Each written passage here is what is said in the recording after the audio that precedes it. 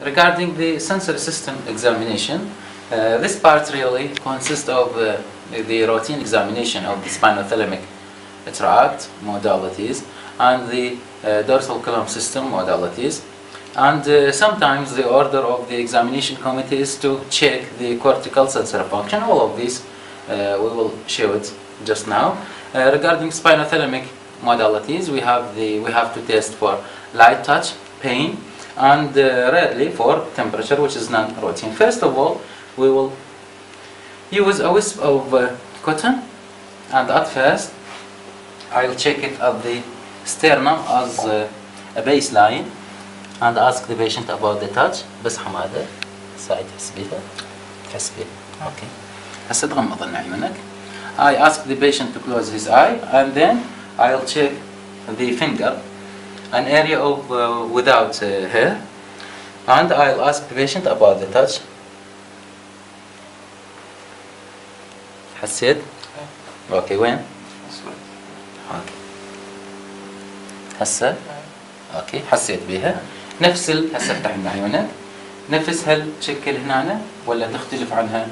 يعني نفس الحالة نفس ما حسيت فرق بها أو شيء. أوكي if the patient had really normal distal sensation you have to jump into the uh, next modality to check it while a patient who had uh, really impairment here you have to ascend up and to check for spinal uh, level uh, if we want to check the uh, sensation of the upper limb I'll also uh, I had taken a, a baseline touch and then ask the patient to close his eyes هسه همسم من عيونك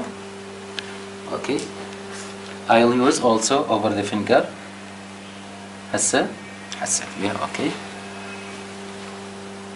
هسه okay. Then if the patient you wanted to check whether the patient is malingerer or not you have without touching the patient asking him هسه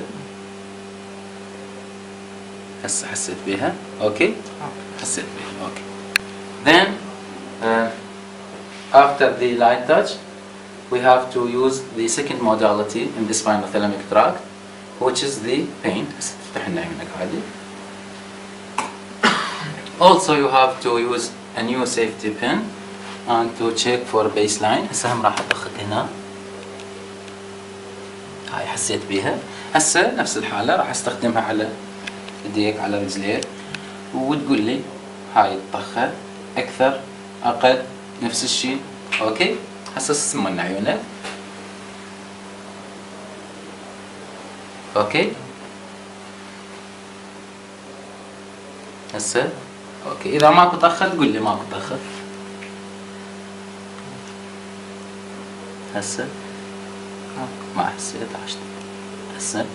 حسيت بها أوكي هاي هي عشتك هسه تفتح لنا عيونك also have sensory impairment there we have to ascend up for spinal level. Really in the uh, ex examination we have to know some terms about the absence of pain or about absence of touch. Regarding the light touch decrease in the sensation of light touch we call it hypoesthesia absence of touch at all, we call it anesthesia, while in increased perception of touch, we call it hyperesthesia. In case of pain, absence of pain, sensation at all, we call it analgesia, while decrement in that perception, we call it uh, hypalgesia, and in increment in that, we call it hyperalgesia. This is with respect to the two modalities of the spinothalamic uh, tract. Then we have to check for the modalities subserved or conducted via the dorsal column system, which are the uh, position and position sense and vibration sensation. For the position sense, uh, we can perform it just like this Grasp laterally the little finger and the upper limb and show to the patient that this is down and this is up and then ask the patient to turn his head or to close his eye and to know where is the finger side هسه هذا حماد اصبعك هيجي لفوق هيجي لجوا اوكي هيجي لفوق هيجي لجوا هسه اريدك تصمم لنا عيونك وأنا راح أحركه. وأنت من أقول لك تقول لي على مكانه هسه. لجوا لا من أنا أقول لك. هسه. هسه. أوكي. Then we have to compare with the contralateral side. هسه هذه نفس الحالة. هم راح أستخدم. هسه. جوا هسه لفوق لفوق عاشت إيدك هسه نفس الحالة بأصبعك هذا. شوفه تفتح لنا عينك. هذا أصبعك الكبير نفس الحالة. هذه لفوق هذه لجوا أوكي؟ أوكي. صد لنا عيونك. وهسه تحاول تقول لي هسه من أقول لك. هسه. لجوا هسه. لفوق أوكي أصبعك الثاني راح أشيكه. هسه. لجوا هسه. لفوق If the patient had impairment, for example here, let's suppose in the upper arm, distally he had an impairment, we can really use the finger of the metacarpophalangeal joint, and then we can use the wrist, and then we can use the elbow. And after that, in the lower limb, if we have an impairment here, we can use the ankle joint and the knee joint up to which level we can uh, test this modality. The second modality in the dorsal column system is to use tuning fork uh, that is 128 hertz should be checked for this modality and the same thing first of all I'll check a baseline test and then I'll check individually the joints there. هسه حماده بس هذا راح أخليه على صدرك بس تحس إنه حسيت شو تحس؟ خش هسه راح أخليها على منطقة هماتين بجسمك وتقول لنا نفسها أقل ماكو. أوكي؟ فتصم لنا عيونك. أوكي؟ خلينا هاي إيدك هنا.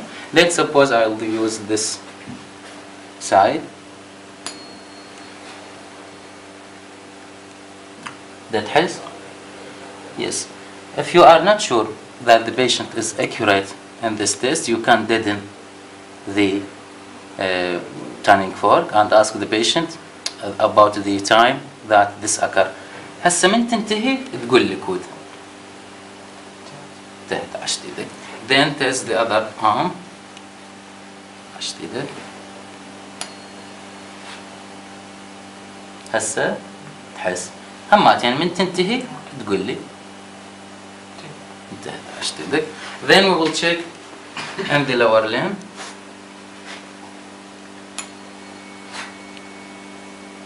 ده تحس أوكي هسه هماتين اذا انتهت تقول لي انتهت أوكي then we have to check the other side if we have an impairment for example in the lower limb I'll use the medial malleolus patella and then anterior superior iliac spine if we have an impairment if we have an impairment here in the lower limb in addition to the interphalangeal joints we can use the ulnar process styloid process and then the olecranon and then the shoulder just like this. I'll show it on this side. That helps. من توقف؟ قول لي. عشتي ده تحس؟ هماتين إذا وقفت هماتين تقول لي. أوكي. and then the shoulder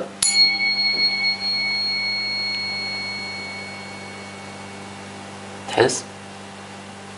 من توقف؟ تقول لي. okay.